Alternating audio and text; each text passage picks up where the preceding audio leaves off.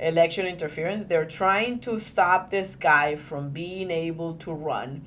And what is happening is backfiring in the best way possible. So, you know what? I I'm kind of grateful that this is happening, and I hope that they get what is coming.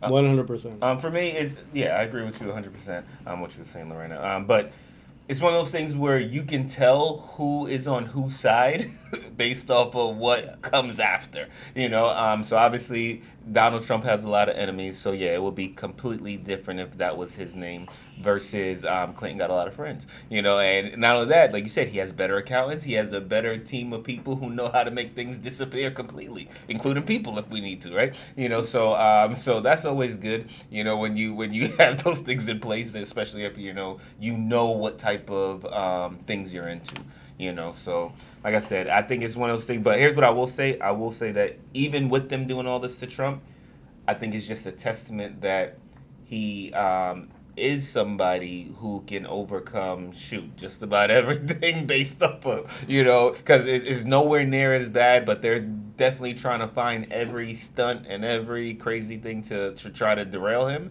and it's not working so that if anything that's a testament you know so. The conversation about the whole situation, because election is getting closer, Mhm. is getting more and more intense. So more than likely, we also gonna have to intensify Mhm. uh, some of the things that are taking place to be able to communicate this message uh, effectively. Mm-hmm. Uh, there's two things that I want to tell you uh, in, in addition to what we spoke about in, in, in reference to this whole situation. One of them is the fact that, and again, I want to repeat the statement, right? When he came out and he makes a statement saying, What they are doing to me Mhm. is not just being done to me, it's actually being done to you.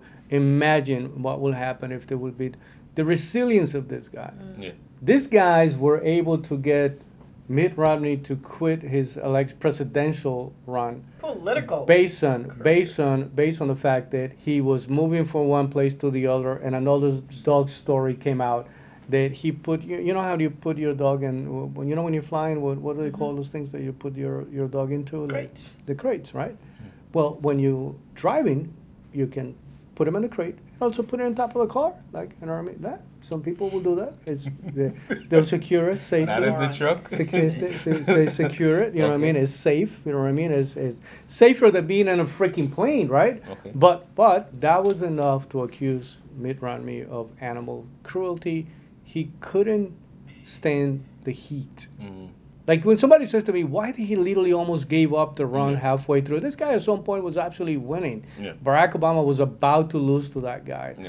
With the help of the press and with the help of all of that animal cruelty accusation, the man said, "Listen, you know what? Peter won. It's like, uh, you know, like, let me let me stop. This guy is saying you might as well throw the whole kitchen at me Mhm, yeah. because the kitchen sink is not enough. I can take it. I can handle it. It's part of life. Yeah. Being here, Yeah. done that, and now now that you're creating again that level of sympathy. The second thing is, man, our founding fathers, the wisdom. You're talking about people that were like 25, 26, 28, 30 something years old. The The older one was 35. wisdom that they have when it came to structuring. Uh, you know, today Patrick was running an interview uh, with uh, a group of people that have a valuable opinion. Some of them, you know, the son of uh, Bolsonaro was there. Uh, and, and people that do have some kind of political, some of them still, three of them are still in Brazil, and the other guy was one of the guys that we were together on the same podcast, uh, who actually is in the United States because he's not able to go back to Brazil because the moment that he steps in there, they're gonna arrest him Mm. for his guts to again pu- public opinion government. and to call out the government. So, but they were explaining how the election process works in Brazil, right? By the way, fully computerized. Which you, you think about, what do you mean? This banana republic country is full, we still doing paper ballot? Mm. They were saying, "Thank God you guys are doing paper ballot." They're like, Mm. "What do you mean?" Right? So electronic, but it's not electronic that is centralized by state. Mm. It's not electronic decentralized by delegates. It's not electronic that is, the, I, I- I mean, it goes all of it to a single place. Mhm. And in that single place, there's a group of people who will decide who won and who lost the election. Make no mistake about it. There's a group of people that would love to see that kind of power to be developed in our country. We better be freaking careful. We better be extremely careful about the shit that we're doing here because there's a group of people that would love to see every single vote to go into this. Otherwise, let's- that people let's- voting is gonna be Let's least turn it into popular vote. Forget about this. Let's turn it into popular vote, right? So that it, all of it can go through a single place, and there's gonna be a handful of people that will decide who won and who lost the election, and everybody has to accept it because supposedly it was done cleanly. Uh, guys, final thoughts. Well, Eh, if you don't appreciate America for what it is, just mm. listen to what you just said about this guy that is in a podcast that has to stay in another country because he just go had back. the guts to speak He didn't burn the flag. against the He didn't misspell the name of government. Brazil. He actually he knows how to spell it properly. He never burned the flag. Love his country. Can't go back to it. Yep. That's funny.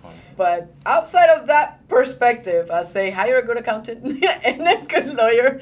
Uh, if President Biden says you've got a friend in me, don't believe him. Don't call it vacation. Don't call it vacation. Hooker. It. Can just make sure it is like yeah. Yeah, yes, Label yes, it yes. correctly. correctly Jesus. correct acc- accounting right uh, if, if if biden goes uh, what is it toy story on you and says you've got a friend in me don't believe him and then the last one the number one thing that you should be concerned don't believe the wall street is doing amazing Mm. uh, believe on what's happening on my street and it's not my street Wanted to it's your kill your street argument at the very end. Huh? Like Yeah. attacking no it. Like, i'm see that? just telling you See that? Here is, and if you don't want to believe, if you want to corro- corroborate what's happening in your street, go drive by strip malls. Go drive not strip clubs. strip bars, malls, right? like the little malls that have So multiple. much Stormy Daniels uh, conversation. right? eh? No, but, but go through there and see how many businesses have changed in the past, in the last four years, in the last two years. Go see and see how many new businesses are popping up there. And it's not because the economy is booming, it's because the old businesses weren't able to make it happen. So, guess what? Walmart's just keep on getting bigger and bigger, and that means that more AI jobs and self checkout aisles are gonna be happening. Fair enough. So Um, so for me, I would say this. I think the biggest thing that um, you got to pay attention to is what team of people are around you. You know, and I think it's super important. Not only do you develop your team, but you got to always be um, not only um, like building your team, but making your team better. You know, and I think the people that are successful in this world, whether we're talking about good or bad people, they're able to do that because they have the right team around them. So then for you, like Lorena said, which I do agree with, it's not about what's going on in the world, but it's what's going on in your world. You know, that's only gonna happen in the way you want it to if you have the right team of people around you. So I think it's super important that, as always, you know, you gotta um, take control of your family, take control of your household, do the things you can do to make your world better, and that's gonna come from 100% having the right team of people, and that's gonna change everything. For me, I, I- I think this is a reminder that what makes uh, people that are running for the presidency and, and, and you want people to be strong and resilient. Uh, either you have a group of people that will be protecting you all the way to make it happen, and that's not an easy thing to assemble. You got to be in the right um, group of people making noise, I guess. You know what I mean? And I absolutely welcome the idea of a lot of noise about a topic because I don't care who you are, you can piggyback on that and still turn it into, hey, pay attention to the right thing. But that's one way of getting there. That's the, to realize that in this country, there's a lot of other interests outside the population interest for who's going to become the next president. That there's a lot of people that are playing a different game, almost, uh, you know, behind curtains. You know what I mean? And and that always bring you back down to so who the hell is running the country, right? And and that's a crazy question to be thinking about after this many years in the country. But to know that there's some dark forces out there, and there's sometimes, you know, unfortunately happen to be wrong. Uh, and, and I wish that we're able to get it right hundred percent of the times because I can get behind it. I don't I don't care if there's a Wizard of Oz somewhere, uh, as long as you uh, have an American first uh, uh, clear position, as long as you are going to help our children respect our country and the flag, and and literally to love the things that we still have the ability to offer um, to the rest of the planet. The second way is you get there by being resilient, Mhm. by being able, by making it very clear that you're gonna have to kill me at this point. And and I think that everybody, at least in my case, I already came to the conclusion that even if this man was locked up, he's still gonna get elected as president. I don't think that that's gonna be enough to stop him from becoming the next president. I don't want to say it's a done deal, but it's as close as you can possibly be to a done deal. You're gonna have to kill this man in order to, and God willing, that will never even come. Hopefully, uh, become a reality. But but that kind of resilience, I don't care how much you dislike his personality.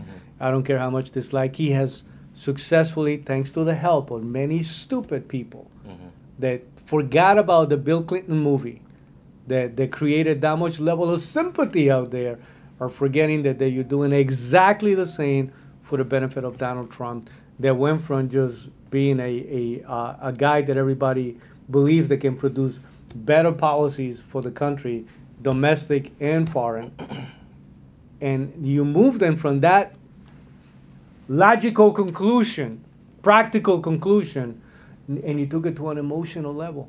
Now is Saint Donald Trump. Make sure I get a tiny percentage of those candles, Donald.